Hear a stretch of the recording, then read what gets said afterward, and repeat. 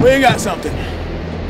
No bait, just a lure. Just my, uh, just my um, dump rig. The double uh, blade version.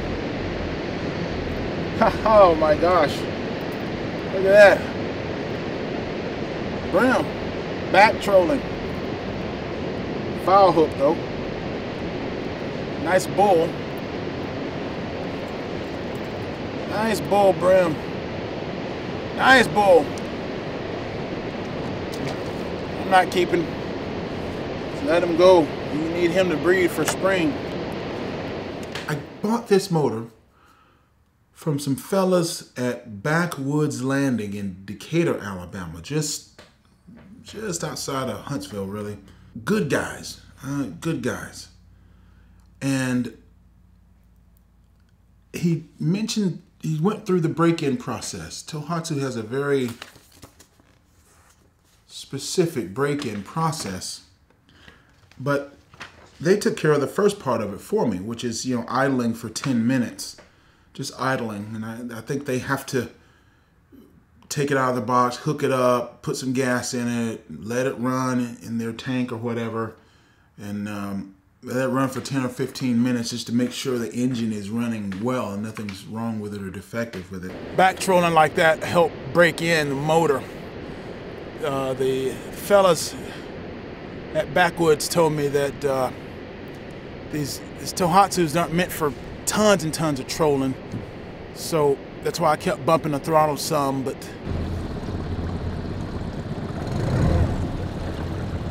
you do some trolling with it and just run it, run it out. The motors are meant to just go, man. But uh, I'm happy to see we can do it. The, the problem with the Thai longtails, I can never really do any proper trolling. And that was always concerning to me. But now we've got a piece of equipment that's gonna get me, get, help me get the job done.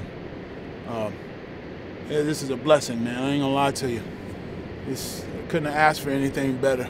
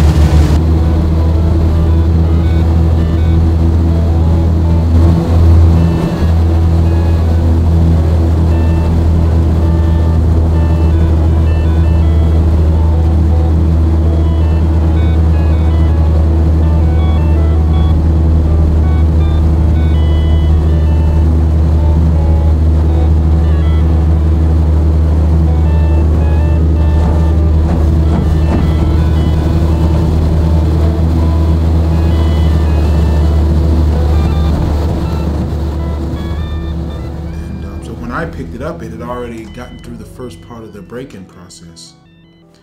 The break-in process is broken down into one, two, three, four, five parts.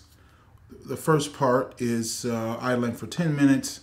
Second part, from 10 minutes to two hours, you keep it at half throttle, less than half throttle, and about three RPM, 3,000 RPM or less. I didn't buy a tachometer or anything. I just approximated it, and it's been doing fine.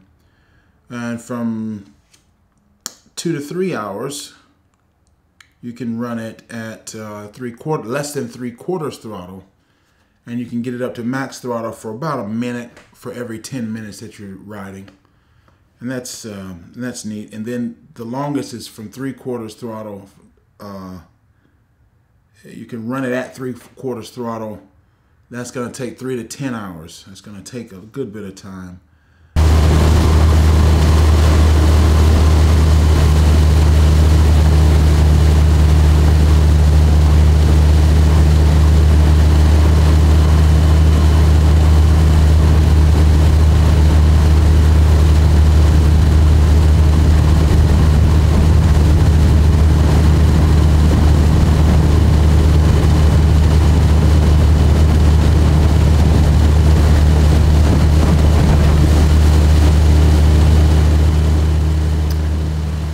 My goodness, this motor's fast. Like, It's fast. I mean, we're talking just I I'm a minimalist in terms of fishing, and um, the boat's light. It's actually a heavy. Well, it's a light boat, heavier than your average John boat, but uh, there's only me plus my gear, and I don't haul a lot of gear, just a hand line. Left my cell phone at home because oh, I left it in the uh, yeah, I left it at home and didn't bring it. Uh, I left it in the jeep and didn't bring it on the boat so I could see, you know, what speeds were and, and all that kind of thing. But it's fast. It's fast. I mean, half throttle, I'm up on a plane. It's just, and no, you know, and you know, so if it's half throttle, I mean, you're about 10 horsepower. Yeah, that's about right. If you look at the weight I'm hauling, 10 horsepower should be just enough to get you, excuse me, begin to get you up on a plane. Begin to get the nose up and down and start running.